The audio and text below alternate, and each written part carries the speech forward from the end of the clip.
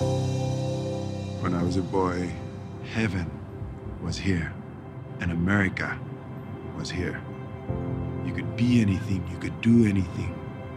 I never wanted anything as much as I wanted to be an American. Hearts here in Pittsburgh are broken over the loss of Hall of Famer Mike Webster, who had in recent years suffered from mental illness and slipped into financial ruin. Why does an apparently healthy, favorite son of this city Die in disgrace at 50. I can tell something is wrong. In 25 years, I've never requested a test like this. What are you looking for? Am the wrong person to have discovered this. If you don't speak for them, who will? Repetitive head trauma chokes the brain. It turns you into someone else. tape, needles, Vicodin, Toradol, whatever it takes to keep them in the game. It's business. Get me a meeting with the commissioner. They don't want to talk to you.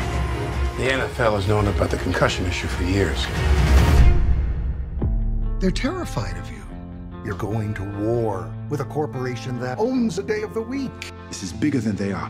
They have to listen to us now. Where is this science coming from? From nowhere. If you continue to deny my work, your men continue to die. They want you to say you made it all up. They're accusing you of fraud. Drop it, or they'll be doing your autopsy, Mr. Omalu. Dr. Omalu, You have no idea how bad this could get. I have to keep going. These men are not machines. We must honor our warriors.